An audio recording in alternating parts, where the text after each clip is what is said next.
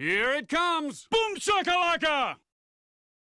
Mais um vídeo começando aqui no Boom Shakalaka e antes do meu assunto de hoje, aquele recadinho rápido que eu dou de vez em quando. Quem não é inscrito aqui no canal, se inscreve, acabamos de bater a marca de 60 mil inscritos, então rumo a 70 mil, a 80 mil, a 90 mil, a 100 mil, a 1 milhão, a 189 milhões. Quantas pessoas tem no Brasil? Nem sei. Enfim.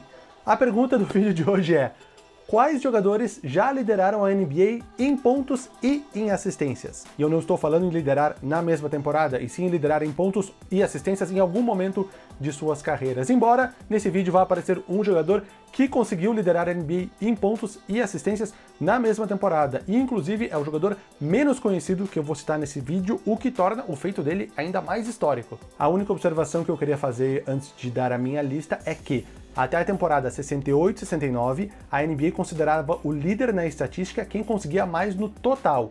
De 69 e 70 para cá, o líder oficial da NBA é quem tem a melhor média. Isso vai fazer diferença, isso vai mudar um pouco a nossa lista. Alguém entra e alguém vai ficar de fora por causa desse critério.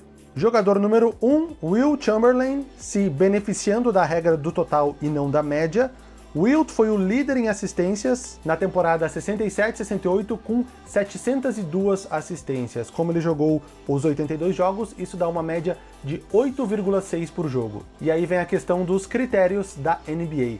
Nessa mesma temporada, o Oscar Robertson teve média de 9,7 assistências, 1,1 acima de Will Chamberlain, porém ele só jogou 65 jogos, conseguindo um total de 633 assistências, 69 a menos que Will Chamberlain. Isso permitiu com que Will Chamberlain fosse o primeiro jogador da história a liderar a liga em pontos e em assistências. Eu nem falei sobre o Will Chamberlain liderar em pontos, porque todos já sabemos que ele liderou várias vezes, foram as primeiras sete temporadas da carreira dele, entre 59 e 66, ele liderou a NBA em pontos em todas elas. E agora vem a curiosidade do caso Oscar Robertson. Embora ele tenha perdido nesse ano em questão para Will Chamberlain, ele liderou a NBA em assistências outras seis vezes.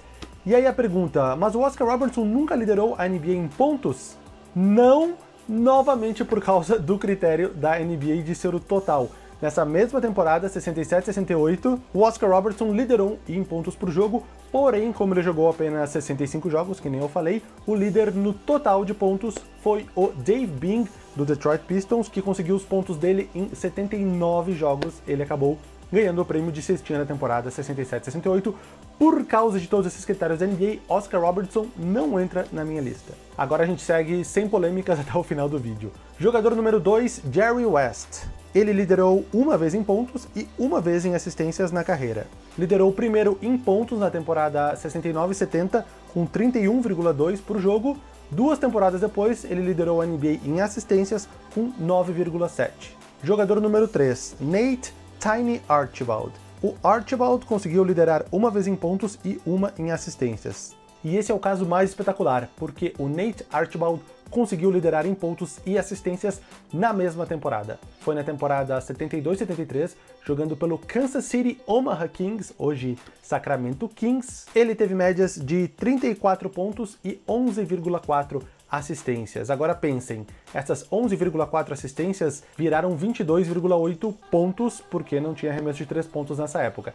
Soma os 34 dele de média, com 22,8 gerado pelas assistências, ele tem um total de 56,8 pontos por jogo do Kansas City Omaha Kings, na qual ele pontuou ou passou a bola. 56,8 por jogo. Esse recorde não foi superado até hoje, nem mesmo atualmente na era das cestas de 3 pontos. Por isso, um reconhecimento extra para Nate Archibald, que teve uma das maiores temporadas individuais da história da NBA em 72-73. E agora vamos para a era moderna da NBA para os últimos dois jogadores. Os últimos dois a conseguirem são os agora companheiros James Harden e Russell Westbrook. Em 2016-17, Harden liderou em assistências com 11,2 e Westbrook em pontos com 31,6.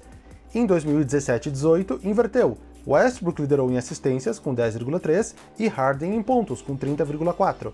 E em 2018-19, isso se repetiu. Novamente Westbrook em assistências 10,7 e Harden em pontos 36,1. E esses foram os cinco jogadores que já lideraram a NBA em pontos e em assistências. Relembrando, Will Chamberlain, Oscar Robertson não, Jerry West, Tiny Archibald, James Harden e Russell Westbrook.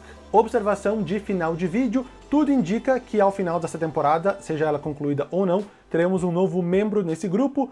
LeBron James, até a interrupção da temporada, era o líder em assistências com 10,6. O segundo colocado era o Trae Young com 9,3, ou seja, ele tinha uma pequena folga na liderança. E como ele já liderou a NBA em pontos por jogo na temporada 2007-2008 com 30, se ele se consolidar como líder em assistências, ele é o sexto jogador a entrar nesse grupo. Agora sim, para finalizar, lhes pergunto quem seriam os próximos candidatos. Eu digo Trey Young, hoje ele é o segundo em assistências, que nem eu falei, e o quarto em pontos.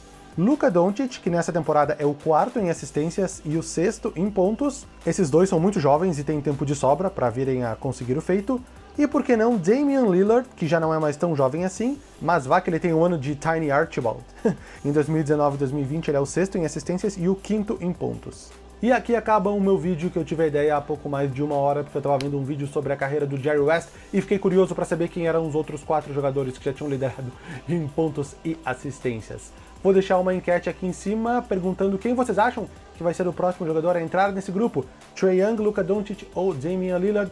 Votem que no próximo vídeo eu dou o resultado dessa enquete. Grande abraço e nos vemos no meu próximo vídeo aqui no canal. Valeu!